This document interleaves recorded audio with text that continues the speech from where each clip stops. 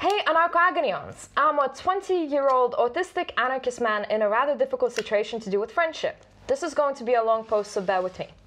A few years ago, at a demonstration, I bumped into someone I vaguely knew from my first high school. This person is deaf and dumb. Does dumb mean I can't speak. Gotcha. Yeah, I mean, I think I knew that, but just want to also qualify, uh, confirm. And may have learning difficulties. I don't think I'm gonna say where they're from that says that here, but I don't think that's of importance. No. We communicate through uh, BSL finger spelling. Over the years, it has become apparent to me, though, this person's behavior that they fail to understand and apply consent. Often he touches me on the shoulder and tries to initiate a game of TIG. I do not want to play TIG with him and have made this clear on multiple occasions.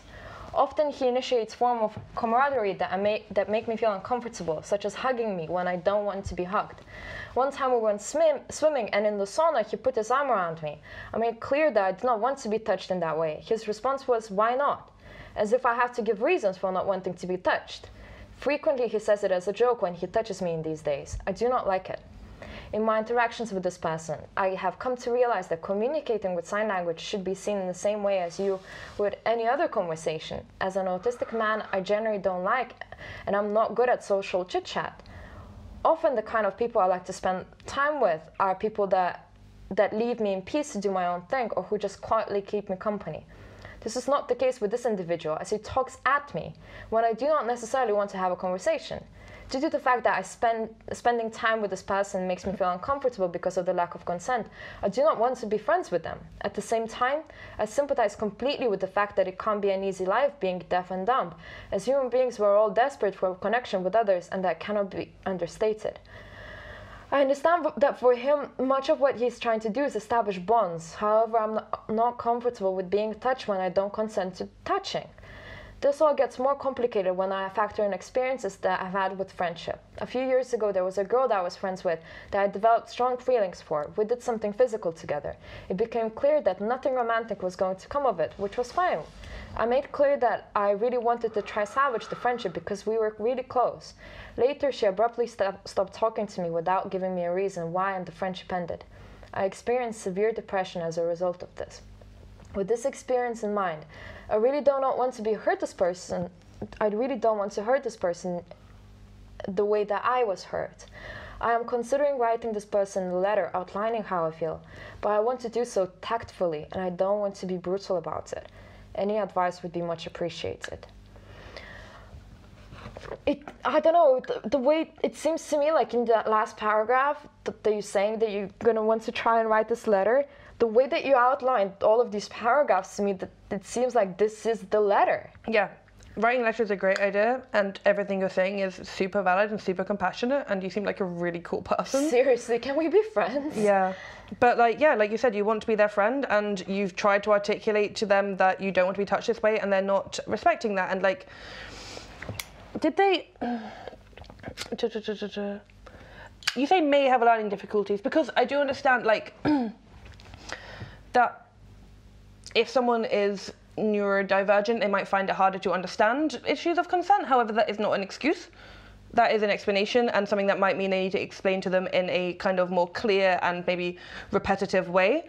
But yeah, you you say that you've you've like tried to approach them about this, that you've made yourself quite clear that this is not an okay thing with you, that you want to be your friend, but you don't want to be touched when you don't want to be touched. I mean, Jesus, it sounds like you've done everything perfectly. And yeah, if you need, to, yeah, like Mariam and you're so beautiful the way that you kind of explain the feelings of alienation and how rejection can really you know make the person defensive and so they completely disappear out of your life. And that's not necessarily what you want at all it seems like. Like you, like up until a certain point you do enjoy this person's uh, presence and you guys seem to have adventures together and that's really great. I don't know like it's so tricky because it seems to me like only a, a letter where you describe everything the way that you have here would be of utility and I, I, I cannot see how the person wouldn't get that. And again okay the way that i would perhaps offer to phrase that letter which i think is a really great idea that you mm-hmm. already have definitely. is perhaps like well not gamify but, but like basically be like like maybe bullet point it a little bit and be like okay so targets and or new suggestions of how do we do this? So it's not like you know and so this is that. This is now up to, you know up to like you have this letter from me, that's it, that's that done. Now you go like, okay, up to suggestions and or goals as to how we overcome this, you know? Mm. And so you give a bunch of like things of, of, of, of, you know, how can they approach this? And perhaps if like they don't do it in this particular way that many times, then that's that for you, you know? Which is kind of a bit tricky to be like, okay, so you do this three times, I'm out. But you know, like sometimes, I mean, I do in my fucking poly relationships. I do, I literally go like, yeah these are certain points within a certain time frame and and or um, if you do those things that many times like i will go into this next level which will be way less trustful you know so I think that's a really good idea, and I also think because you care about this person and because they might struggle with this, I think doing that, but also in, sorry, also including like positive reinforcement, like these are ways in which I like to be engaged with.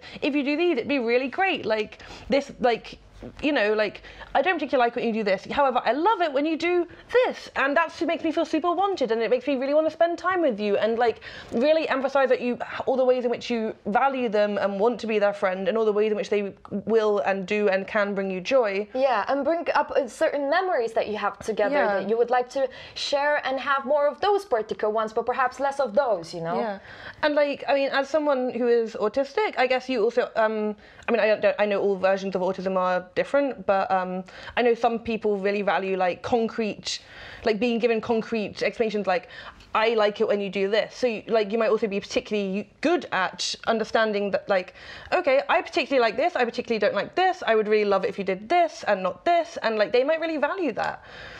And yeah, it it sounds like you're really sympathetic and cool and compassionate and care for this person. I don't really know what to like suggest. Are you, I feel like you're better than us. Yeah. like dealing Yeah, with this. Because sure. normally I'm like, oh, I didn't like that phrase or something. Literally, I like, go like not gonna reply to your messages for for like five Yeah. days because you said that. You know, but you're just you're on point. You're really in- great. And yeah, the fact that you related it to previous things, and maybe even say that like I really value our friendship, and I don't want to go this way. However, these things are a hard line for me.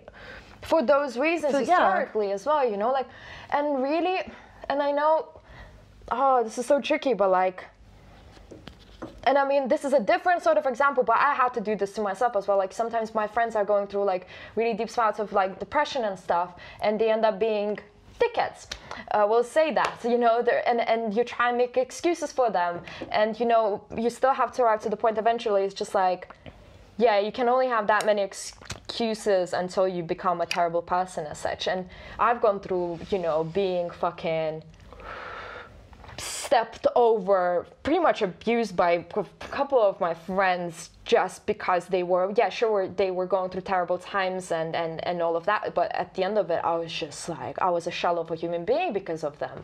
And I would be terrified to even be in the same room with them, you know? And, and, and in the end, I had to rid of those relationships. And it's sad that we got to that point. But it was also like, and to be fair, I will say I have tried and tried and tried, but never got to anywhere. But like, yeah, like one person only has that many excuses, you know? Any person, I think so. Yeah. Obviously, you know, literally, if you find someone that is like um, hot, rich, attractive, and, they, and they're they're a dick, I will have way less of a time for them than there's someone that is actually going through issues as such. And it seems like But so many people use going through issues as an excuse for getting away with shit. Like I had a very, as you know, very similar experiences to you, and I ended up having to leave the friendship and my home and the country I was living in because of it. And but that's also because I actually didn't take the step that you took. I was actually always too scared to outline my needs and my values and what was important to me and what was a hard line for me. And I don't think it would have been different if I'd done that. But the person had a very different different set of issues as this person. But yeah, you sound like you're approaching it from a super compassionate and cool way. And like, Thank you so much. I guess we don't have any advice. Only like, you got this, and like, good luck. And yeah, like Mariam's idea of doing the the letter with the the kind of gamification, I think, is a really useful thing because like targets and objectives are a very like nice way of like I, I do my, my, my thinking in lists and in like you know Excel spreadsheets. I think it's I think it can be really useful. Yeah, yeah, and a lot of relationships actually kind of rely on that, and that that's okay. That's okay, you know. Like it's kind of a shame. Like sometimes there's been this whole discourse as of late, right, about like emotional labor and like should you be sending a message to a person about sending a message to them and stuff like that, you know, like, can I send you a message that will potentially maybe upset you? That will be a message about something else, and we all take the piss out of it or whatever, you know. Obviously, though, to be fair, we talk about like this to some of our friends that do require that, which is absolutely fine, except that some of the times that is now put towards, you know, all of the conversations that. Sh- should be had, and that's a shame. What I'm trying to say was that we shouldn't market, like, marketalize. What's the word? Like, uh, Commercialize? commo- I thought- yeah, I guess Commodify. commodify our our relationship. So I don't, but I don't think achievements, like unlocking of achievements, No, is that. that's not that. That's like about specific things within a re- like Yeah, relationship. yeah. Like, I really love it when you do this. I don't like it as much when you do that. Like, yeah, The negotiations, yeah. yeah. There's a difference between like rules for engagement and like, hey, these things would make me really happy. Yeah. Good luck.